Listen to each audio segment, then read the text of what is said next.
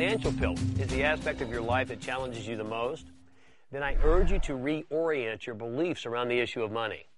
You see, many people think that all they need is money the yacht, the mansions, the first million. But having financial wealth is about the value that you give to the world, not just the value that you receive. And so you must continually invest in yourself. You've got to grow in every single way. I promise you this if you focus only on making your first or your next million alone, you ultimately won't live a harmonious and fulfilled life. Instead, focus on providing a million dollars worth of service and value to the world.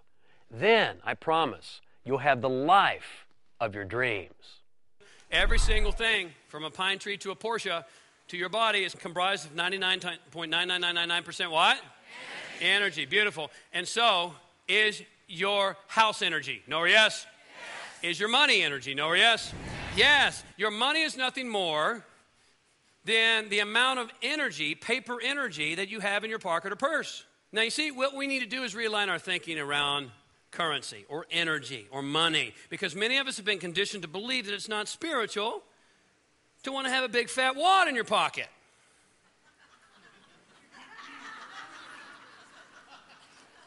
Some of you need to get your mind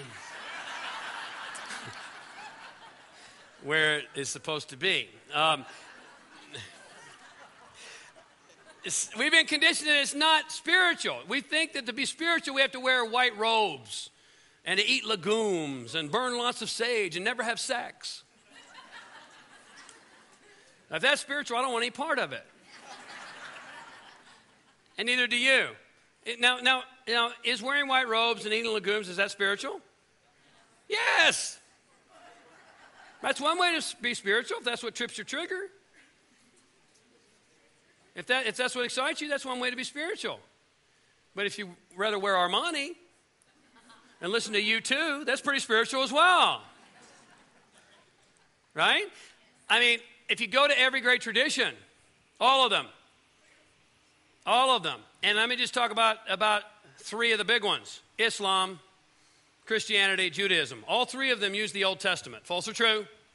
All of them use the Old Testament. On the seventh day, the creative source stepped back and looked at his handiwork and said it all was what? All of it. All of it. Anytime you damn any part of creation, you damn God. Because where is God not? Where is spirit not? Where is energy not? It's all the same stuff. It's all the same stuff. And so we need to realign our thinking around money. Money's not the totality of wealth. But think not that you can grow to your full spiritual capabilities in today's world without a certain amount of money. You can't. You can't. You can't attend events like this one without a certain amount of money. You can't go and study different cultures. You can't go to sacred sites. You can't read the books. You can't do the things you need to do to expand into your full spiritual capability without a certain amount of money. If you're with me, say yes. Take a moment to think about the financial pillar in your life right now. What are some of your beliefs about money? What kind of financial picture do you want to create in your life? How much money do you need to achieve your goals?